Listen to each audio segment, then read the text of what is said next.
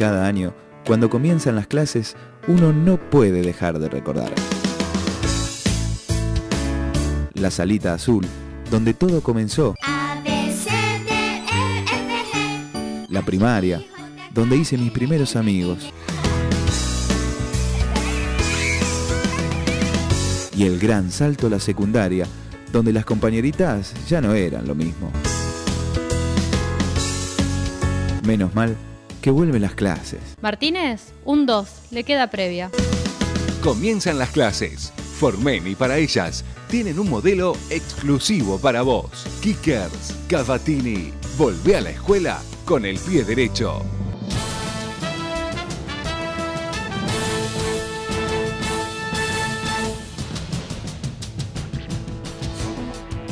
Embajador. El ex secretario de Trabajo de la Nación, Ezequiel Sabor, fue designado como nuevo embajador argentino en México.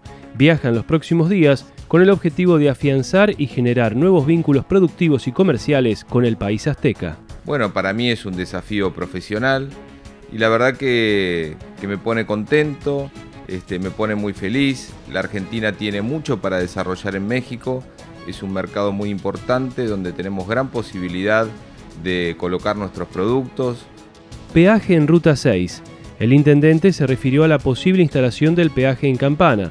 Dijo que los vecinos de la Ruta 6 no van a pagar si se instala y a futuro se construirían dos colectoras. Si el peaje llega a venir a, la zona de, la Ruta 6 entre Ruta 9 y Ruta 8, como se había planteado en algún momento, eh, obviamente que los vecinos de, de, la Ruta 6, no solamente de Barrio Pioneros, no van a pagar ningún tipo de peaje.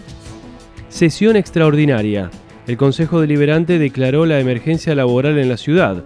El proyecto fue impulsado por el peronismo, pero los bloques de Cambiemos y Unión Vecinal Calixto de Lepiane se abstuvieron en su votación.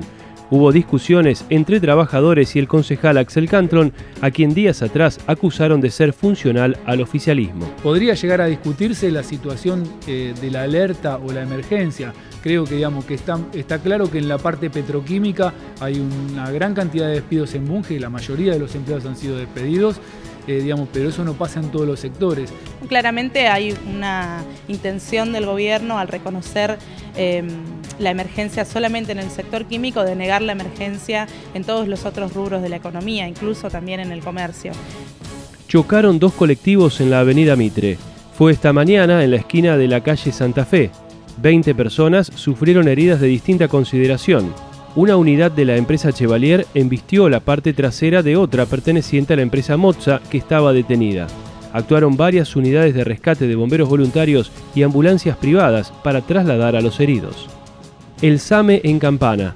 El Consejo Deliberante ratificó el convenio para que comience a funcionar en Campana el Servicio de Atención Médica de Emergencias, SAME, Será un contrato por cuatro años y descomprimirá la tarea que hoy realizan los bomberos voluntarios. Estamos totalmente convencidos de que es un servicio necesario, sin dejar de lado la importancia que tuvieron los bomberos, que deben seguir participando en el tema de accidentología. Creemos que este servicio va a ser muy bueno para los vecinos. Y esto ahora va a cambiar absolutamente todo. Es decir, se va a ver con el correr del tiempo que el SAME en la ciudad es algo que salva vidas. El tiempo en, esta, en este métier es fundamental. Nuevo Jardín. Autoridades municipales y de educación del municipio visitaron las obras del nuevo jardín del barrio Los Pioneros.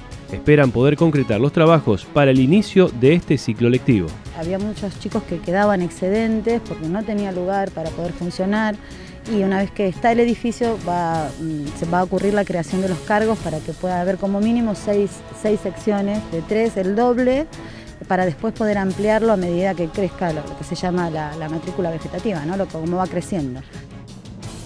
La confiabilidad, los bajos costos operativos, el confort y la durabilidad son los factores claves para el éxito de los camiones Isuzu. Venía a conocerlos. Ruta 9 kilómetros 73 100. Campana.